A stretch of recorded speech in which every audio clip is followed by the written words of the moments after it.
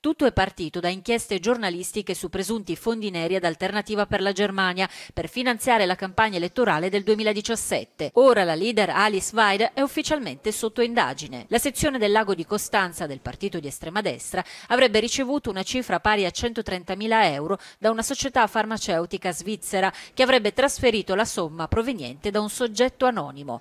La legge tedesca sul finanziamento ai partiti vieta donazioni da paesi non membri dell'Unione Europea a beneficio di cittadini tedeschi che vivono fuori dai confini comunitari. Weide si divide infatti fra Germania e Svizzera, dove risiede la sua famiglia. Lei si difende sostenendo di aver ricevuto i bonifici in 18 tranche a settembre, ma di averli restituiti ad aprile. Troppo tardi per i magistrati della Procura di Costanza, che hanno chiesto al Bundestag di togliere alla parlamentare l'immunità.